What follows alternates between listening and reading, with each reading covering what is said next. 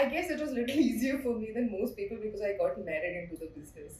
So I just fell into the family business, uh, so to speak. So, uh, you know, the teething problems that I guess a lot of uh, new people who join outdoor industry, those were slightly lesser for me because I had somebody to mentor me. Male dominated, yes, outdoor advertising is really male dominated, but there is no embargo against uh, women in the in this industry. I think women have uh, the proportion might not be as much as we'd like it to be, but there is know, representation of women also in the industry.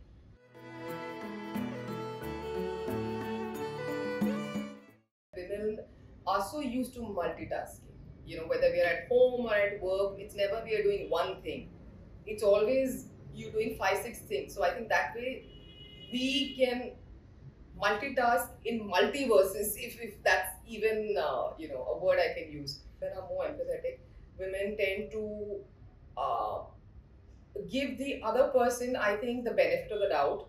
Also, creatively and storytelling wise, I think women, because of their approach to life, I think they are more creative in that sense to men. So, yeah, women do bring in a lot to the table in that way.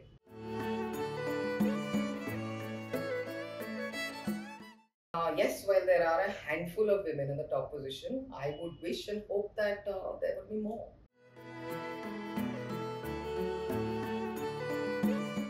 Uh, basically, we need to be uh, more understanding and I think have more empathy towards uh, the fact that uh, you know now now people can say, oh, you're being gender biased. No, I'm not being gender biased. Women have more responsibilities than men. Let's just be honest about it. If you take my staff itself, they cook in the house in the morning, come to work, go back home, and work again.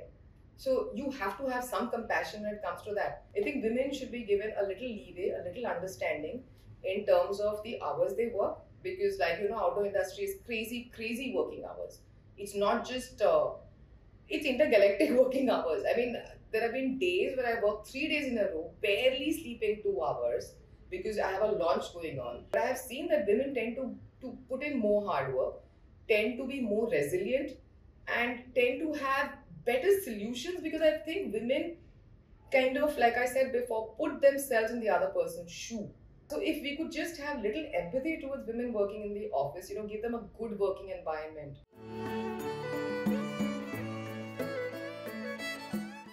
We do have women in the industry who've been there forever, you know. Get them as mentors on board.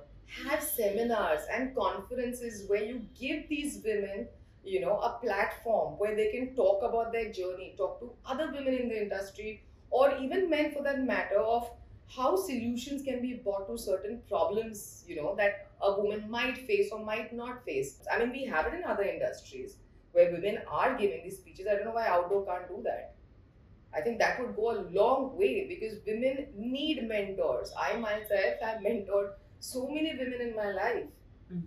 And even though they have moved away from my company, believe me, every time they meet me, it is so warm and nice and and I can see the appreciation in their eyes. And I think from a woman to a woman, that is my greatest achievement in outdoor. I also had a woman who helped me in this line. At that time, I was pretty new in the industry. I think it went a long way for me.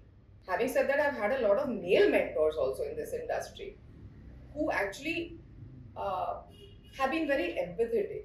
You know, I think we need more of that men understanding women and women understanding women. You know, we're not competing against each other, we're all in the same industry.